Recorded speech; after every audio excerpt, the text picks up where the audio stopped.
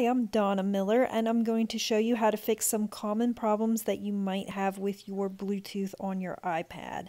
So the first thing we're going to do is go to the Make It button and once we're in the Make It we're going to hit our Continue button and this is on the iPad so it's going to bring up our options to select our machine but as we look at the options on the machine our machine is not listed. So no matter how long you wait here, your option for your machine will not show up unless you fix this problem. So the first thing that you want to start is you want to go into your settings and we're going to look at the Bluetooth options in our settings. So I exited out of the Cricut Design Space app and now I'm going to go into the Settings app.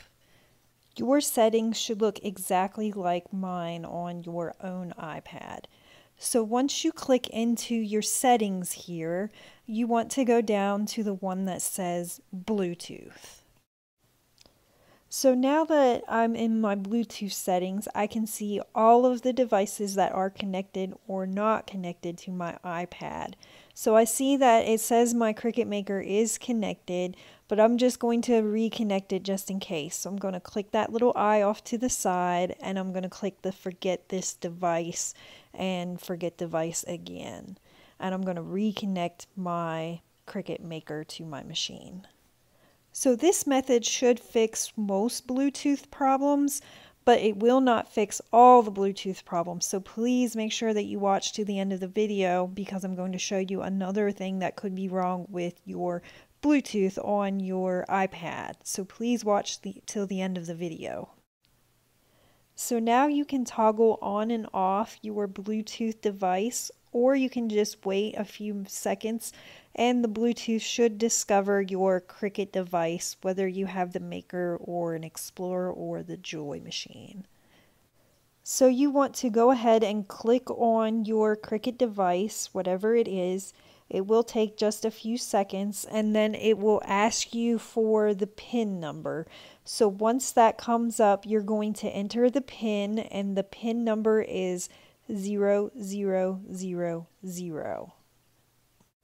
So now we're going to exit out of our settings and bring up our Cricut design space, hit the continue button, and our Cricut Maker is still not an option to select.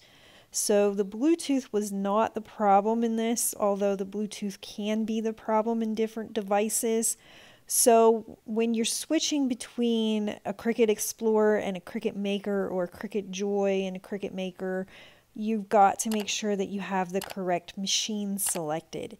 If you don't have the correct machine selected, then no matter what you do, the Bluetooth will not show up on your options when you go to cut your material.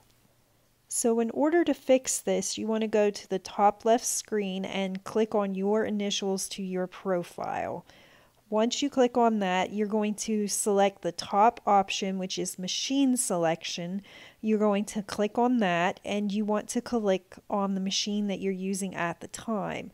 I was previously cutting with my Cricut Explorer, but now I want to cut with my Cricut Maker instead. So I'm going to need to select the Cricut Maker instead of the Cricut Explorer. So when you're switching around between machines a lot, you will need to check that you have the correct machine selected or this problem with your Bluetooth being connected but not being the option to select it will pop up on your iPad a lot. So now you can go ahead and click on the Make It button, click on the Continue button, and now your Cricut Maker or whatever Cricut device you are using will work on the machine.